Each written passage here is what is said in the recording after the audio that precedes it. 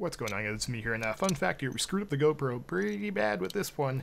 Uh, yeah, apparently the case looked like somehow it just kept shutting itself off when it was recording, and 90% of the stuff I tried to record didn't work out, so spend a decent amount of money trying to make a video of the Mosin Nagant here, which makes a big boom for not too much money, but still, it's not, not too cheap to shoot this thing all the time.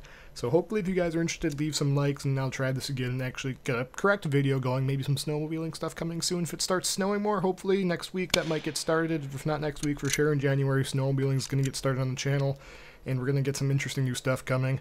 Probably might move into some more stuff with guns too. Let me know if you guys would like to see more of this. I'm just narrating over some crap here, so it's not just background video of me shooting a gun, but this is all I could get off the GoPro because it got screwed up pretty bad. Hopefully you guys enjoyed this. Sorry about the bad angles. Again, I screwed this one up pretty bad. This one to have something up, so it's not another like month of no uploads. Thanks for sticking with me this far. If you made it this far, hopefully you'll stick around because things are going to pick up here pretty soon. There's going to be lots of cool stuff coming out. Hopefully you'll enjoy it. Thanks for watching and listening to me with this little bit of narration. Now let the rest of the video roll out. See you later.